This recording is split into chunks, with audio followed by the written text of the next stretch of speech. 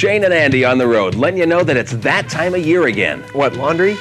Oh, forgot about that. Anyway, it's baseball season. Springtime is here, and the Fort Wayne Wizards invite you out April 30th to the stadium for Family Day. That's right, there's going to be clowns, face paintings, giveaways throughout the night, and the Wizards are going to stick around after the game to sign autographs. That's right, Shane and Andy will be there, and of course, as you can see, I'll be bringing my kids on Family Day. I don't have one of these. Don't look at me.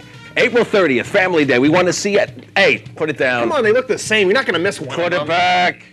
Hey, hey, America! Get ready for fireworks! It's another Shane and Andy on the road event. Come out this Friday, June 9th to Memorial Stadium to catch your Fort Wayne Wizards kick off summertime with fireworks night. Fun for the whole family. Shane and Andy, only on Fox 55. That's gonna be an outtake.